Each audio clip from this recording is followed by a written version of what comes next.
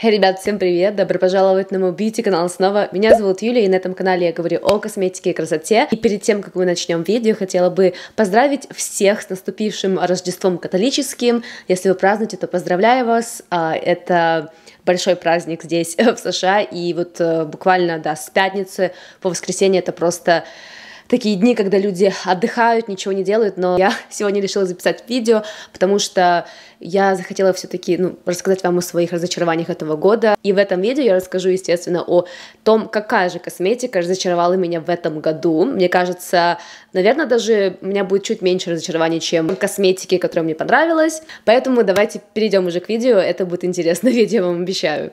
Первое, с чего я начну, это будет палетка. Палетка теней, которая меня разочаровала больше, чем все остальные. И если вы смотрели других блогеров, то, наверное, вы уже знаете, о какой палетке я говорю. И это будет палетка от Urban Decay, которая называется Naked Cyber. Я не так часто покупаю палетки Urban Decay именно по этой причине, потому что в моей голове формула Urban Decay, именно теней, она не прям вау, она не самая лучшая, но посмотрев на упаковку этой палетки, я так не подумала.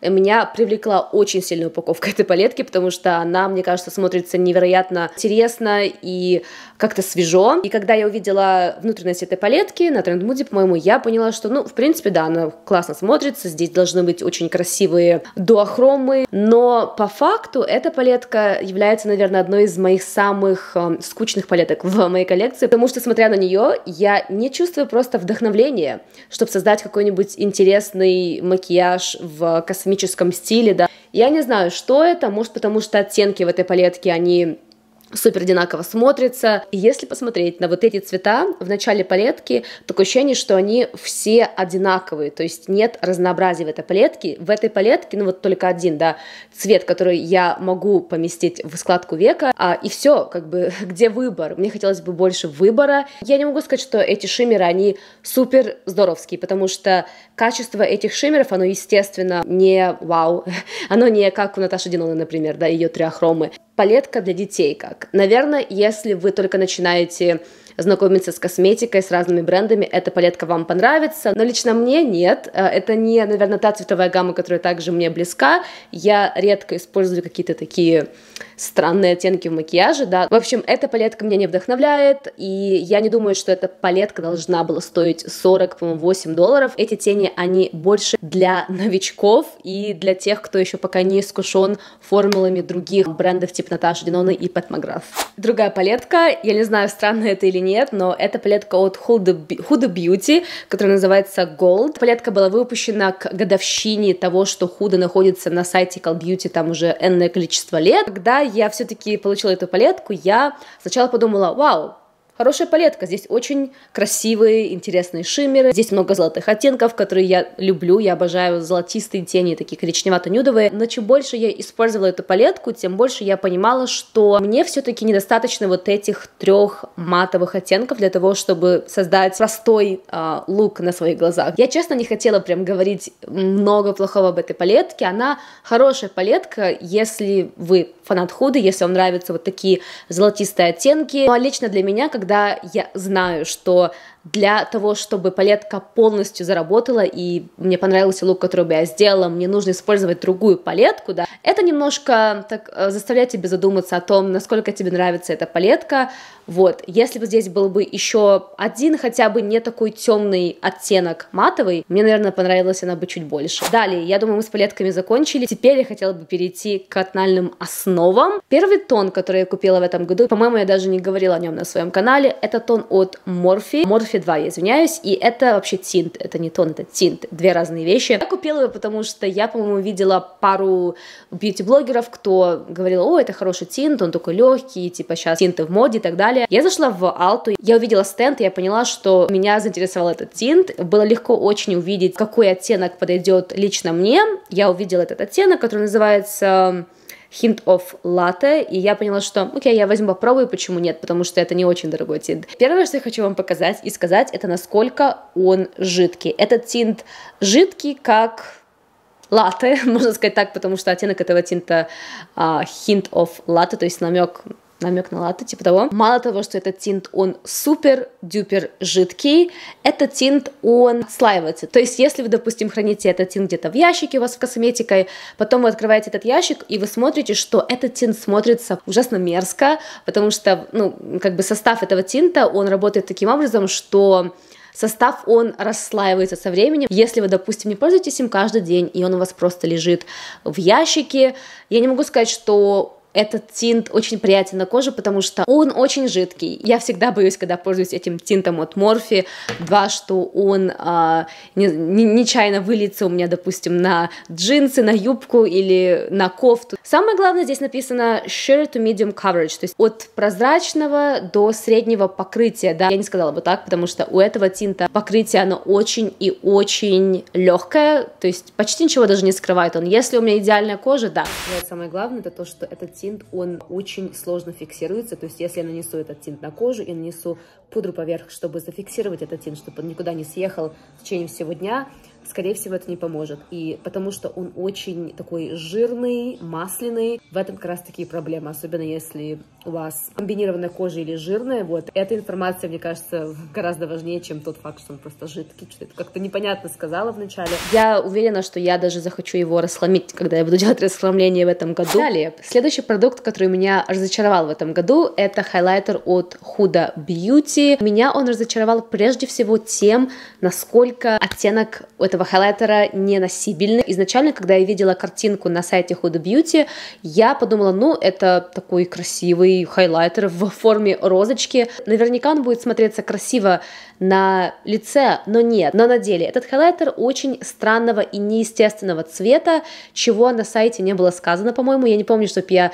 видела свотч этого хайлайтера также, когда я покупала его. Это дуохромный хайлайтер, и он смотрится не очень красиво на мне, как, как мне показалось, но даже когда я наношу совершенно немного этого хайлайтера, чтобы подсветить вот эту зону своих скул, я вижу э, какое-то, я не знаю, дешевый, дешевое сияние, причем очень странного цвета, и это мне не нравится. Я понимаю, что это худо бьюти, и я знаю, что вроде бы многим он понравился, но мне нет. Я без ума от упаковки, да, упаковка очень красивая, форма этого хайлайтера, розочка, но сам оттенок нет, я не помню даже, когда я последний раз использовала этот хайлайтер, настолько я настолько часто я им пользуюсь. То есть я, наверное, сделала когда обзор, и после этого я им не пользовалась. Наверное, это тоже о многом говорит. Стоил он, кстати, не так дешево, тоже, по-моему, около 35 долларов. Поэтому, да, жаль потраченных денег. Далее, давайте перейдем к другому продукту от Huda Beauty также. Это ее бронзер из коллекции Glowish. Я понимаю, что этот оттенок, он не подходит мне, то есть это невероятно светлый оттенок лично для меня. Его очень сложно увидеть на лице, его очень сложно увидеть когда я его сводчу. И именно по этой причине я не пользуюсь им. То есть да, наверное, его даже вам не видно. У меня оттенок, который называется 01 Light, и может поэтому именно это было моей ошибкой, что я взяла слишком светлый оттенок, а нужно было взять оттенок просто чуть-чуть потемнее. У меня в коллекции все-таки есть бронзеры с чуть получше формулой, чем у этого бронзера от Huda Beauty. Далее, давайте, раз уж мы начали говорить о бронзерах, поговорим о них еще. У меня есть два бронзера. Первый бронзер от Анастасии Beverly Hills. Это кремовый бронзер, с которым она вышла недавно относительно. Также бронзер от Jacqueline Hill, и это тоже ее, по-моему, была весенняя коллекция, что-то вроде того. Первый бронзер, который меня очень разочаровал, прям очень, это бронзер от Hill, а, потому что, опять же, это оттенок, который смотрится очень странно. Оба эти оттенка, на самом деле, оба эти оттенка, они смотрятся как э, цвет детской неожиданности, настолько это смотрится странно на лице. Так вот, первый бронзер от Jacqueline Hill, он у меня в оттенке Nike, он не такой кремовый, как бронзер от Анастасии Beverly Hills, я, я бы сказала, он даже суши в разы. Его реально очень сложно увидеть на лице моем, как можно видеть. Он очень близок э, к моему цвету кожи, особенно на лице. Не понравился вообще, что результат всегда отвратительный, когда я его использую.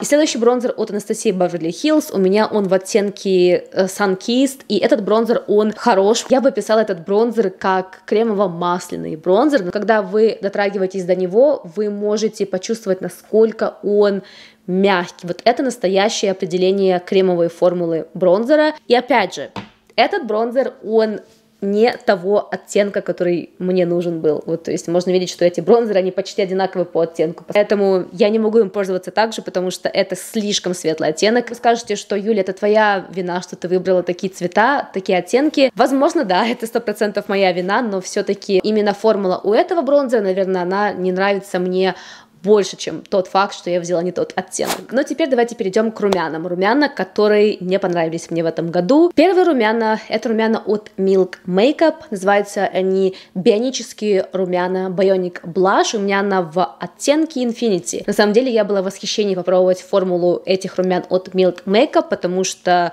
Uh, мне они показались интересными и по составу, и, в принципе, они смотрелись очень даже привлекательно uh, на сайте Sephora, но когда я использую их... О, ничего себе, там просто одна вода. Мне нужно взболтать их, наверное. Вау, что, что происходит? Там нет никакого пигмента. Попытка номер два. Вау. Это это невероятно водянистые текстуры у румян, честно, я такого никогда не видела, они, возможно, испортились, я не знаю, что с ними случилось, но такого точно не было, когда я в первый раз их пробовала. Да, теперь я понимаю, почему я ими не пользовалась так часто. Эти румяна от Milk Makeup, они не видны на вашем лице, то есть не важно, сколько вы нанесете количество этих румян кремовых, это не важно на самом деле, потому что их будет очень сложно увидеть на лице, то есть как будто что у вас есть румяна, что у вас нет, неважно. Они очень плохо достраиваются, двигаются, они смотрятся очень прозрачно, и поэтому я не поняла эти румяна, хотя стоили они за такую маленькую упаковку, по-моему, около 18 долларов, что вроде того. К сожалению, это очень плохой запуск от Milk Makeup, гораздо лучше их все-таки кремовые румяна, которые видны на лице и которые кладут, по-моему, в каждый бьюти-бокс. Эти румяна стали одними из самых худших румян в этом году для меня. Другие румяна также в жидкой формуле, это румяна от Наташи Диноны. Я думаю, что если вы смотрели бьюти-блогеров, кто говорил уже о фаворитах и разочарованиях, то, наверное, эти румяна были в разочарованиях. В общем, самый светлые оттенки этих румян от Наташи Диноны. Вот эти два, они очень плохо проявляются на коже, неважно, сколько вы нанесете, этого не будет видно. Темный оттенок мне нравится больше всех, гораздо больше, чем вот эти два первых светлых оттенка. Еще самое главное, я согласна с Smoky Glow, она говорила об этих румянах, что эта упаковка очень обманчива. Когда вы смотрите на упаковку, вы думаете, что, наверное, здесь очень много румян, но на самом деле крышка этих румян, она больше, чем упаковка самих румян. Колпачок от большей упаковки, где находятся сами румяна, настолько больше. Это не круто. Я думаю, что эти румяна от Наташи Диноны, они не были самым лучшим запуском ее, и продукт этот не оправдал моих ожиданий. У меня есть что-то интересное для вас. Я забыла об этом тоне от Kosas.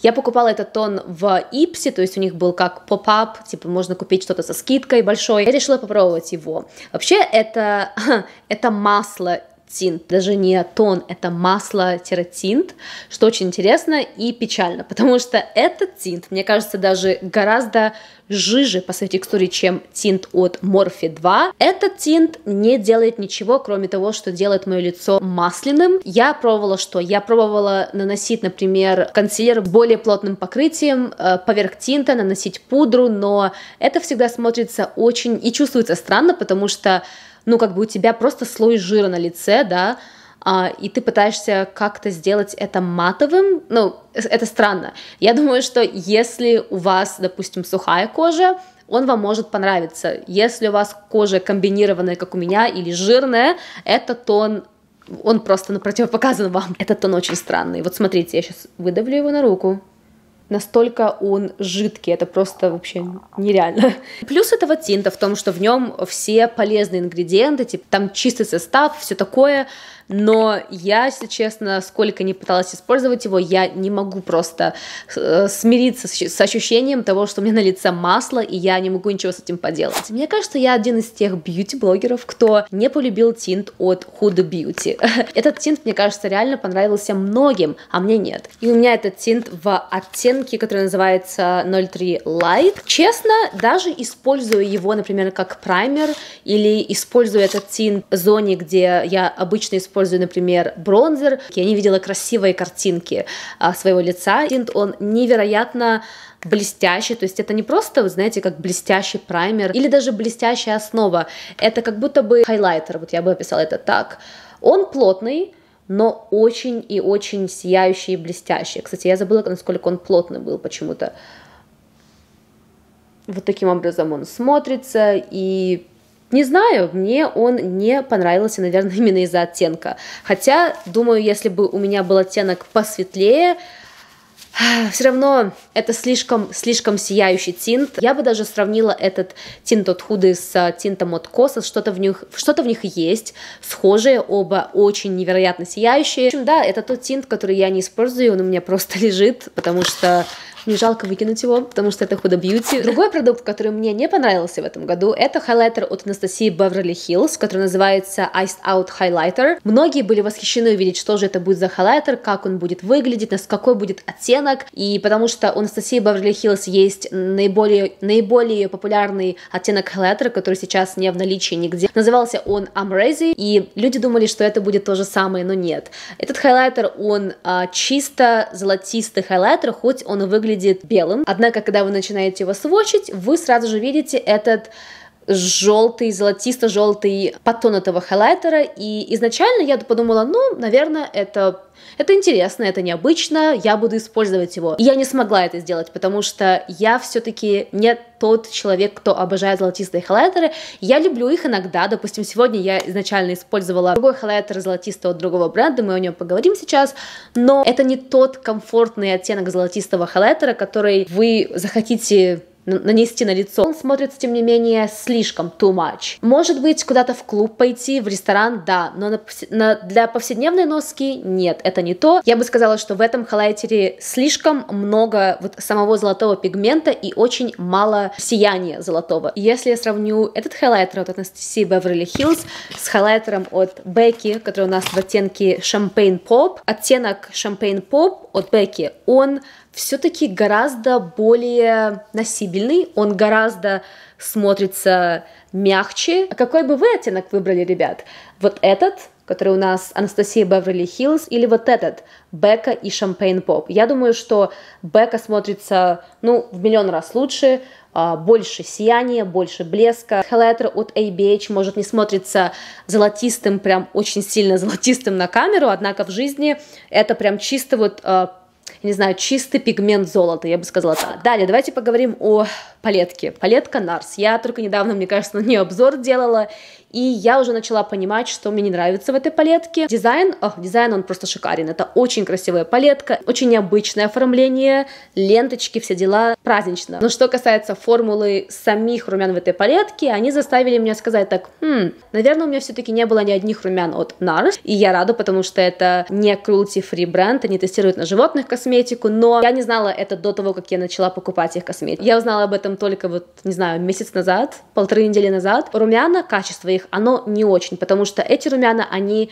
не совсем пигментированные, что для кого-то может быть и плюс, но я все-таки люблю, когда мои румяна, они чуть более пигментированные. Я пыталась набрать, допустим, этот цвет, я набираю, набираю, и я вижу, я понимаю, что мне нужно еще три раза кисточкой провести по этим румянам, чтобы я увидела цвет, который я хочу видеть на лице. Именно я хотела, естественно, увидеть такой наливной сиреневый цвет на своих щечках, но я этого не увидела. Вот, я начала смешивать вот эти румяна с этими, с этим оттенком, и, в принципе, стало чуть более интенсивно, но в итоге я использовала палетку от Hourglass, их новую, и только взмахнув кисточкой по этим румянам один раз, я сразу получила а, ту интенсивность румян, которую я хотела, к которой я шла. Если бы эти оттенки были чуть более пигментированными, этой палетки не было бы цены. И сегодня, кстати, я использовала вот этот хайлайтер золотистый, мне он понравился, опять же, чуть больше, чем тот же самый хайлайтер от Анастасии Beverly Hills. В нем больше все-таки именно блесток самих отдельных, чем сияние, как, например, у